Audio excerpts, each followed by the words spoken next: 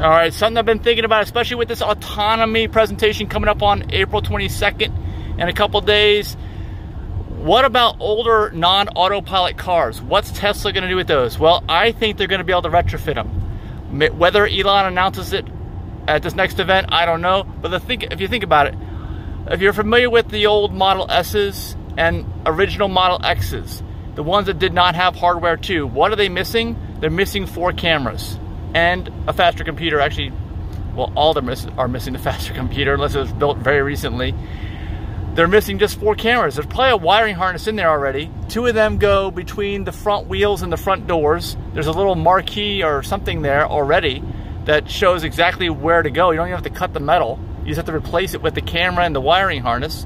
And then the other ones are on the pillars between the front and back doors. There's cameras there. So that's a total of four cameras that are missing. You've already got the other cameras up here on the rear view mirrors, three of them facing forward and then one in the back as your rear camera. So that's four, five, six, that's eight cameras altogether. Yep, that's it.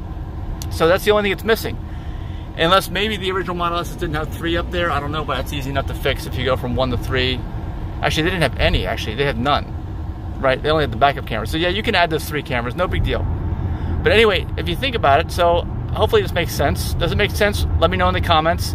But I believe they're gonna be able to retrofit because everybody's gonna need a new computer, which is plug and play. It goes right in up here above the, the glove box. That's where the computer goes in that space. Plug and play for the computer, plug in the cameras, you've already got the internet connection, you got the same interface. So I think we're ready to go. I think the entire Tesla fleet, minus the original Roadster, is gonna be able to do this.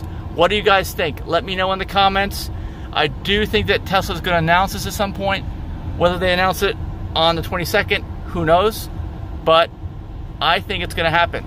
Let me know your thoughts in the comments and like and subscribe and hit the thumbs up and also be sure to hit that bell for notifications whenever I release a video. See you in the next video.